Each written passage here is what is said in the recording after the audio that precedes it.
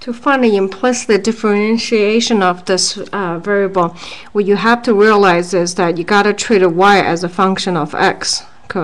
So when you find a derivative using chain rule, you got to be careful. Let's give it a try here. x, y, let's put a little x over here to the half, minus 4x minus 2 y square of x equal to 0. So I did is regroup it.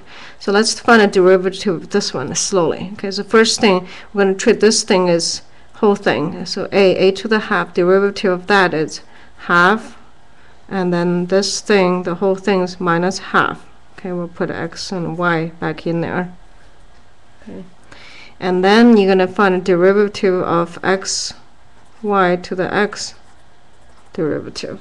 Okay, minus 4, this is easy, and then minus 4 times y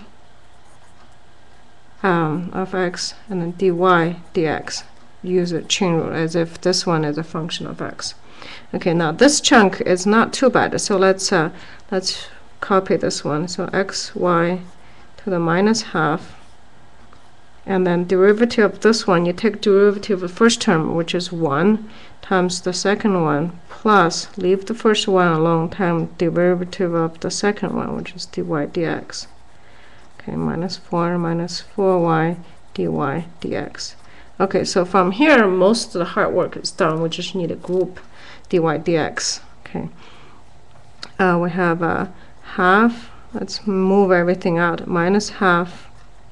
Okay, this one times that one, it's y to the positive half. That's the first term. Okay, plus half x to the positive half, y to the minus half. Okay, so now I'm com combining this one. This is a dy dx. So I have a one group here. I have a minus 4y dy dx. It's over here, and then I have a minus 4 equal to 0. Okay. So let's combine this whole thing here and move this one onto the other side. So I have a half x to the half minus half here. y to the half minus 4. That's all the terms that does not have any. So this term doesn't have dyx, dy dx. This term doesn't either. And that's equal to now this is a little bit risky, so I'm doing two things at a time, which normally I don't do, but um, let's give it a try. So dy dx is on this side. Okay. Now this one was supposed to add this one. When you move it over onto the right hand side, you got to change, so it becomes 4y minus half x to the positive half, y to the minus half. Okay, so so far so good. Everything is uh, in there this becomes positive this one becomes negative. Okay so all we have to do now is just divide. Okay.